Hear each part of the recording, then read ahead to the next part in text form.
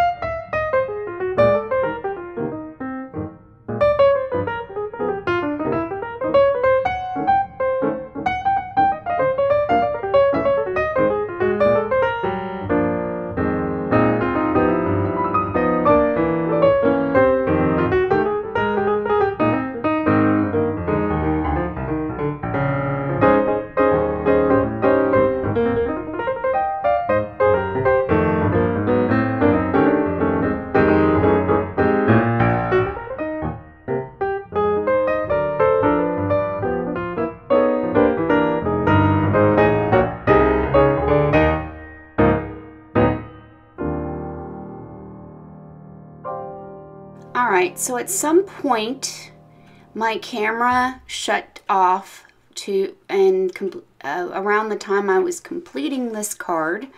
So I went ahead and added some stickers to this one and where you see the top tag, the top uh, tab, not tag, that says the letter D, I covered it with a little bit of leftover border that I had made and then I wrote on top of that the word April. So in the last uh, part that you see is a picture I took of the completed card so you could see what I mean by what I did. All right, so I apologize. All right, so this section here is where I completed the card by adding all the little things I just told you.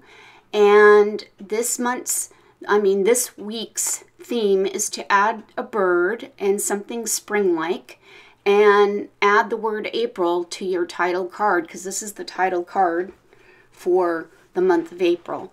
So thanks for watching and if you like what you see please give me a thumbs up, comment, share, subscribe, all that jazz and I shall see you next time. Thanks for watching. Toodles. Bye. Have a wonderful rest of your week.